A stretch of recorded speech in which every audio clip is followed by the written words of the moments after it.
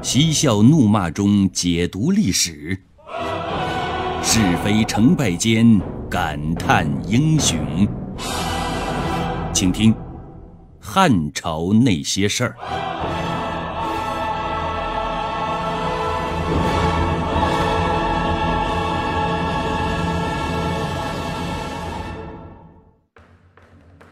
前边咱们已经讲过，公元前二百二十三年的春天，秦始皇进行了大规模的东巡。当时张良精心准备了一个暗杀行动，而项羽也没闲着。他和他的叔父站在会稽街头，望着秦始皇那宏大的气势，说了一句流传千古的话：“将来。”我要取代他。原话是：“彼可取而代也。”项羽的“彼可取而代也”和刘邦的大丈夫当如是也，以及第一个拉大旗起义的陈胜的“王侯将相宁有种乎”，意思大同小异，都是典型的取代主义者。至于是不是这句话惹的祸，现在已经无从考证了。反正项羽说完这句话，就有人把他们叔侄告到了县衙，罪名是莫须有的造反。项家叔侄也不是什么省油的灯，听说消息之后是脚底板抹油，赶紧溜了，就到了一个叫吴中的地方。吴中是现在的哪儿呢？就是现在的苏州。到了这里之后，项梁开始展现出英雄本色，他豪爽大方，仗义疏财，办事果断。没多久，成了这里红白大事的操办人。当然，项梁这么热衷红白大事的操办，也不纯粹的是想为人民服务。还有他的政治目的，在操办过程当中，他一边组织人员配合使用，一边了解每个人的长处和本领，为日后起义做准备。机会总是留给有准备的人。当陈胜起义的号角吹响神州大地的时候，项梁就知道，他等待的时机终于来了。十多年的光景，项羽也早已经被他调教成一个风度翩翩的人才。十年磨一剑，这句话果然不假。楚虽三千，亡秦必楚。陈胜是楚国人，项梁、项羽也是楚国人。后来正是楚国人的前仆后继，才把腐朽的秦王朝。彻底推翻。正在项梁开始筹备起义这个节骨眼上，会稽太守殷通主动把他请到府上去了，把他的起义日期又大大的向前推进了。如果殷通后来知道自己这一请是引狼入室的话，他一定会为自己粗率的行动感到后悔的。当时，殷通以敏锐的眼光看到秦朝马上就要灭亡了。历史的潮流如此，已经不可逆转了。先发制人，后发制于人。于是他决定先发制人，此时不起义更待何时啊？他找来项梁，是想让项梁助他一臂之力。一些必要的客套过后。殷通终于说到了正题，他正色的说了一句：“我想起义。”项梁一听这话，先是浑身一震，然后就装成样子，装成什么样子？装的比傻子还要傻，表示听不懂太守的话。我想起义。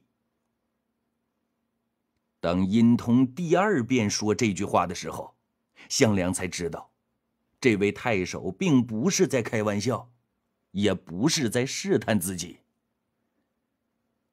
大势所趋，太守真是识时务者。项梁说这句话的时候，已经明白太守这次请他来的目的了，心里边不由得暗想啊。可惜你虽然识时务，却不识人呐。我堂堂项氏名门之后，岂会跟你这个昏庸无能的太守同流合污啊？我想任你和桓楚做将军。殷通的话果然不出项梁所料。项梁先是客套的说自己无德无能，怎么能任将军呢？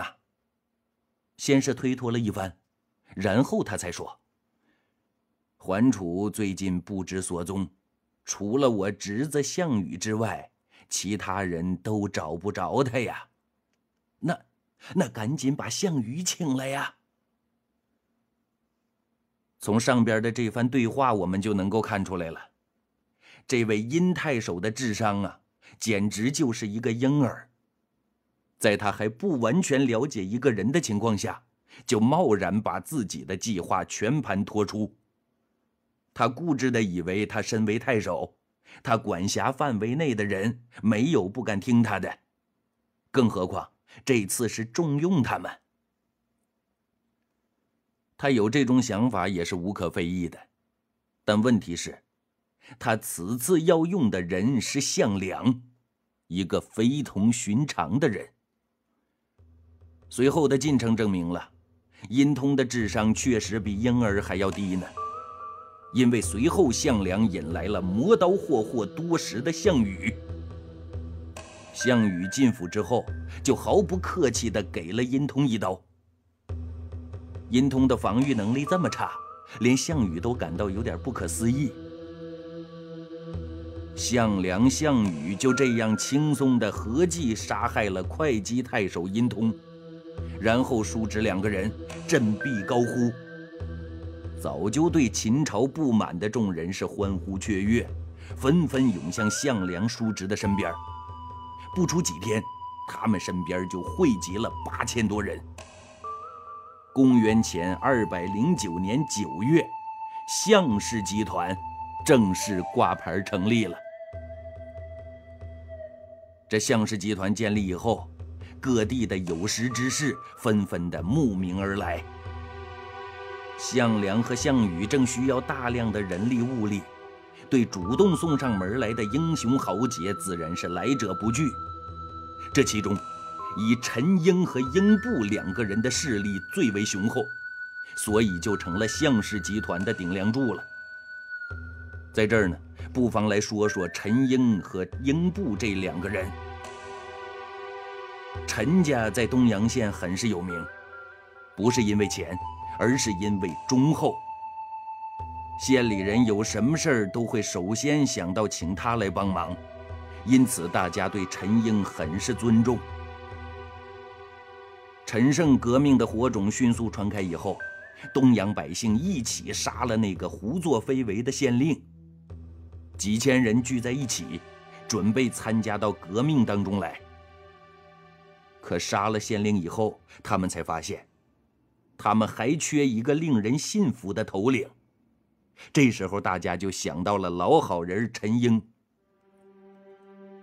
陈英虽然乐于助人，但是却不愿意当头领。可世界上的事儿就是这样，你越是不想当，众人就越要拉你下水。陈英就是这样被众人强拉着上了贼船。陈英当了头领之后。附近起义的人是闻风而至，纷纷归于他的旗下。到了两万人马的时候，众人就纷纷要求陈英自立为王。这时候，陈英是站在贼船上，进退两难了，不得已，只好回到老家去问老母亲。知道自己儿子情况的，最熟悉自己儿子的，最了解自己儿子的。那肯定是老母亲呐。老母亲对他说的话，中心思想归纳起来就只有这么一句：你呀，就是一个做猴的料，不是成王的命。老母亲的话毫不客气，一针见血地告诉陈英：众人推你为王，并不是看中你的才能，而是把你当成挡箭牌呀。如果革命最终成功了，他们可以封妻印子，荣华富贵；一旦革命失败了，他们作为服从之人容易逃命，而你呢，不就成了罪魁祸首吗？陈英的老母亲见识确实深远。陈英本来就没有当王称霸的心，回去之后是打死也不肯再为王了。但是他的部下可不是吃素的，不断做他的思想工作。对于陈英来说，这是一场艰苦的拉锯战。推来让去的结果就是，让项梁叔侄捡了一个大便宜。面对着陈英带着几万人马来投奔，项梁的一张脸都笑成一朵花了。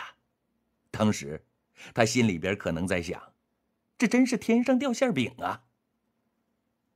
让项梁更加惊喜的是，天上掉的馅饼不是一块，而是两块，还都被他给捡到了。另一块馅饼就是英布。英布是庐江郡六县人。后来犯了罪，被判了情刑，此后被人称为情部。服刑期间，他也在骊山打过几年免费的工。后来革命的春风吹醒了他的头脑，他逃出骊山以后，也走上了革命的道路。只因为刚刚扯虎皮拉大旗，兵不强马不壮，又惧怕杀人狂魔张憨来围剿。所以就投靠大名鼎鼎的项梁来了。这样一来，项梁手下有八千江东子弟兵，一下子变成了八万人的项氏集团。发展如此之迅速，却是始料不及的。就在项氏集团日新月异的时候，刘邦以他敏锐的眼光，认定这是一只潜力股。决定前去考察一番。刘邦考察的方法也很简单，首先看看项梁是不是个慷慨大气的好老板。道理很简单，如果一个老板很小气，舍不得给投股的人一点好处，这样的公司再好，发展潜力再大，也不能入股。于是。刘邦一个人昂首阔步地来到了项军的营帐，对招待的人理都不理，直接找到项梁，然后把早就写好的借条交给项梁。项梁有点惊讶地看着眼前这个相貌非凡的人，素未谋面，开口就向自己借东西，这样的人的确是少见呐。感叹归感叹。当时项梁也不知是怎么想的，拿起笔来就龙飞凤舞地签下了两个字：“同意。”就这样，刘邦是空手而来，满载而归。他带走了五千精兵。刘邦成功了，当然，他的成功是建立在一个特定时期、特定条件的基础上。这个条件很简单。因为他们当时都处于一个阶段层上，大家都在闹革命啊。其实这个借兵的主意是张良出的。他见刘邦志在夺取封邑，但苦于势单力薄，就建议他前往项氏集团借兵。从后边的进程我们可以看到，这一借就借出一段奇缘来。按照常理，大凡你借了别人什么东西，一渡过难关或者到了期限，肯定是要还的。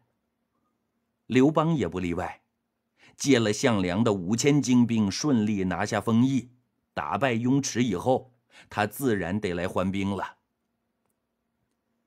常言说得好，有借有还，再借不难。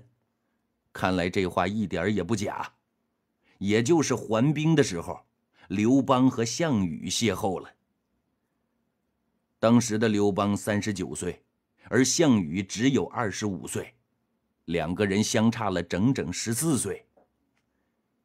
在我们现在看来呢，年龄相差这么大，可能在沟通和交流上有隔阂。但当时的刘邦和项羽却不是这样，两个人一见面以后是侃侃而谈，国事家事无所不谈。两个人越谈就觉得心贴得越近，就拜把子结成了兄弟。拜把子结成异姓兄弟这一套，对刘邦来说已经是司空见惯的拉人伎俩了。从小和卢绾结为把子兄弟以后，他马上就领略到了结为兄弟的好处。因为在以后十几年的寒窗苦读生涯当中，他爹没交过一分钱的学费，都是卢老地主给付的。辍学之后呢，刘邦跟那些一起混的酒肉朋友都是称兄道弟的。虽然再也没有领略到卢老地主那样的好处。但是平常打架斗殴，刘邦高呼一声，兄弟们就提着家伙浩浩荡荡地涌到他身边来。可以说，刘邦就是靠拜把子拉帮结派，最终走向了革命的道路。这时候，面对如此大好良机，刘邦自然不会放过，他也不顾满地都是泥了，扑通一声，跪在地上再说吧。项羽毕竟年轻啊，他哪知道刘邦有这么多的拜把子历史啊？眼见比自己大十四岁的刘邦可怜兮兮的跪在地上，他如果不跟着跪下去，从良心和道义上都说不过去呀。于是乎，两个人是设案焚香，拜天拜地，然后对天起誓，不求同年同月同日生，但愿同年同月同日死。令人觉得讽刺的是，两个人成了拜把子兄弟之后，项羽只活了六年，到了三十一岁的时候，就在乌江被拜把子兄长刘邦逼得自杀身亡。而比项羽大十四岁的刘邦，那可是又活了好几十年才老去的。由此可见，当时刘邦和项羽结拜兄弟。纯粹是战略上的需要。他那时候势单力薄，而项梁、项羽兵强马壮，先借项羽这棵大树乘下梁，寻找机会再一展抱负。就这样，刘邦拉拢了项羽，这个项氏集团是个值得期待的潜力股。结拜的好处有这么多，难怪后来很多人都学刘邦。动不动的就搞个什么结拜主义，看来这一招是至上法宝，古今通用。项氏集团的实力进一步壮大以后，众人拥护着说了：“大王您英明果断，德高望重，应该自立为王才对呀。”是啊，当大王多威风啊！就在项梁将要点头答应的时候，人群当中出现了一位老者。这位老者年逾七旬，头发花白，站了出来，给项梁上了一节生动的政治课。他详细的分析了陈胜起义失败的原因，这里简单的把他的话归纳为：陈王出身低微，不立楚王之后为王。刚起义就自立为王，违背了民心，所以失败。他的话一针见血的指出陈王起义失败的偶然和必然因素。是啊，我们可以这样想象：一个原本在庄稼地里脸朝黄土背朝天的泥腿子，突然有一天坐在皇帝的龙椅上，对大家说了：“从今而后。”我就是皇帝，大家都得对我三叩九拜。这是不是很奇怪呢？信服他的人又能有多少呢？也许有人会问了：古往今来，很多皇帝都是农民出身的呀。但问题是形势不同，不可同日而语。那时候他刚刚起义，天下还是大秦的天下，他只不过是一个造反的。如果他把天下打下来了，再称王称帝，那时候就算他不同意，大家也要把他推向皇帝的宝座。一个高明的谋臣就是要具备审时度势的能力。换句话说，此时项梁、项羽的处境跟陈胜差不多。虽然他们是名门之后，但如果刚刚起事就自立为王，那么他的下场将会只有一个，那就是步陈胜王的后尘。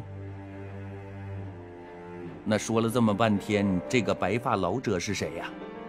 这个老头就是范增，在日后灭秦及项羽、刘邦两大集团争霸的时候，他是一个至关重要的人物。后面。将会讲到他更加精彩的表演。